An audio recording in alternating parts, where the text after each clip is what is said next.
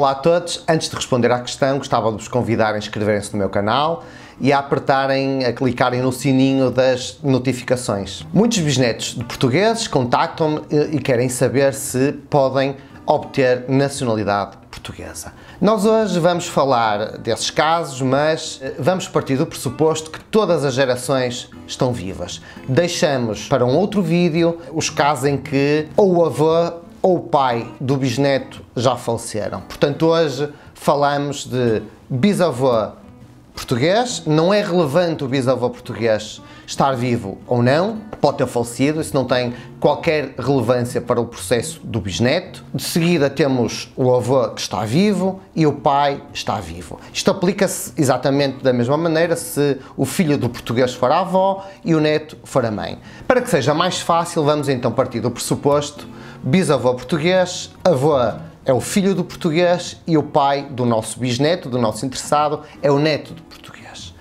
O que é que temos que fazer? Por onde é que temos que começar? Primeiro, e eu já gravei um vídeo sobre isso, temos que encontrar a certidão de nascimento ou a certidão de batismo, conforme o ano de nascimento, do cidadão português.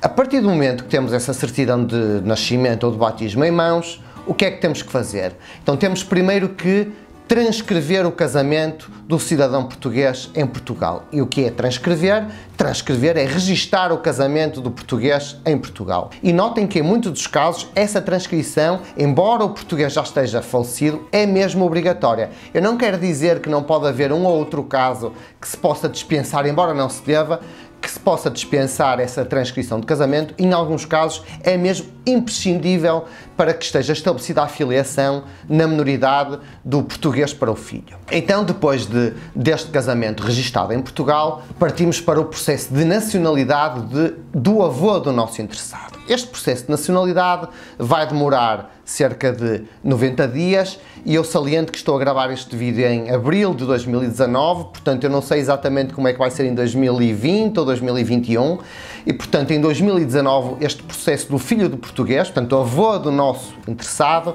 vai demorar cerca de 90 dias.